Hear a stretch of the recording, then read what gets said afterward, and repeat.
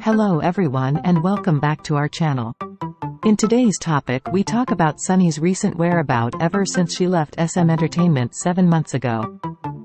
This channel provides you with the latest K-pop and Korean related news every day, so make sure to hit the subscribe button for the latest news and trends.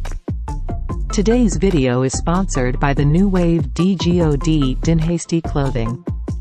Check their stuff with the link in the description. So let's get it started. In August 2023, Sunny made the decision to part ways with her longtime label, leaving fans eager to learn about her next career move.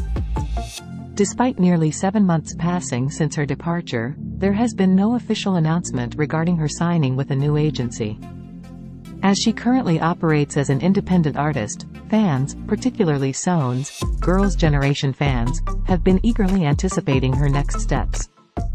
However, on February 26, Sunny surprised fans by releasing a new song titled, Skyview, in collaboration with her fellow Girls' Generation member Hyo Yeon. The track serves as the OST for JTBC's No Way Home, a camping variety show starring Sunny and Hyo Yeon that premiered on February 23. Originally scheduled for release last year, the song's unveiling was delayed until now. In No Way Home, Sunny and Hyo Yeon engage in honest conversations with fellow cast members and offer camping-related tips. The show airs every Friday at 12.20 a.m. on JTBC, and fans can look forward to appearances by Girls' Generation's Sooyoung and Tiffany in the upcoming episodes. Sunny's departure from SM Entertainment in 2023 marked the end of her long-standing relationship with the company, which began in 2007 with Girls' Generation.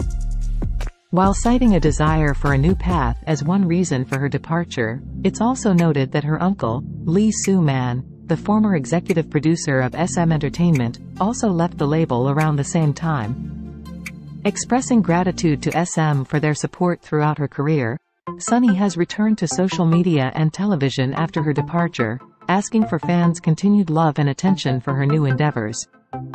Fans are eagerly awaiting her solo debut, as she is the only member of Girls' Generation who has yet to release a solo album.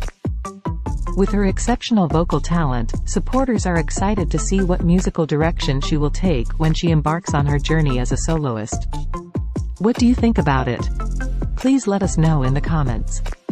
This video was sponsored by the new wave DGOD Dinhasty Clothing. Show some love and check their link in the description.